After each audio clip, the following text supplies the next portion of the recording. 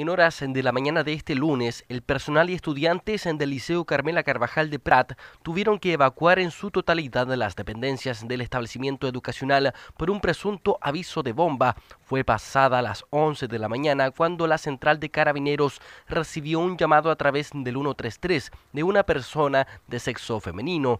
Esta situación obligó a la concurrencia de carabineros quienes avisaron al liceo, por lo cual se tomó la determinación de evacuar a todo el personal y el estudiantado que se encontraba al interior del recinto.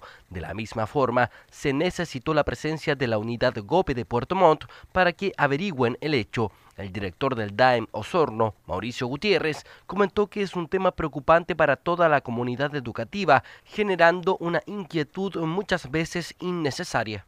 Eh, el, golpe de carabineros que, se dedica justamente a ver todo este tema de aviso de bomba viene desde Puerto Montt. En estos momentos vienen en camino y, lo que está pasando con esto es que estamos eh, generando un gasto de recursos eh, inútiles en términos de llamados que aparentemente hasta el momento también es un llamado falso, pero genera todo un movimiento que es preocupante, digamos, en términos económicos y en términos sociales también.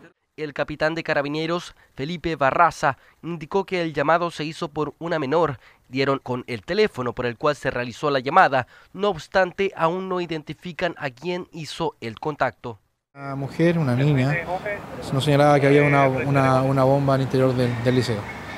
Nosotros nos constituimos acá, dimos inicio a los protocolos junto con la administración del liceo eh, logramos ubicar a la dueña del teléfono, también tenemos antecedentes de que esta no, habría sido la persona que llamó, sino que habría sufrido la sustracción de su teléfono, periodo en el cual se realizó esta llamada y luego el teléfono fue dejado en el pasillo, según la información que mantenemos, y entregado posteriormente a la inspectoría del liceo.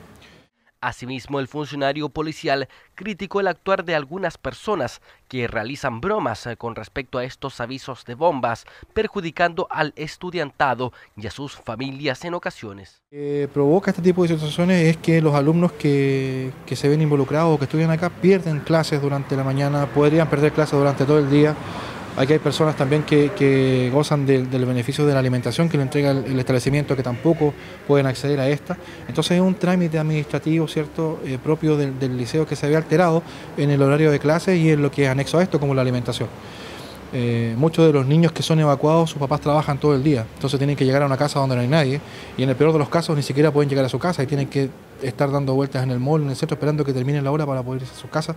Y eso también es una situación que nos afecta a nosotros y a la seguridad de estas mismas personas. Tras el trabajo desarrollado por el GOPE de Carabineros, no se encontró ningún artefacto explosivo, por lo que los alumnos retornaron a clases durante la tarde. Sin embargo, desde el Departamento de Administración Escolar de Osorno manifestaron que están trabajando en un nuevo protocolo para expulsar a los alumnos que desarrollen este tipo de llamadas falsas, ya que es el segundo aviso de bomba en un mes.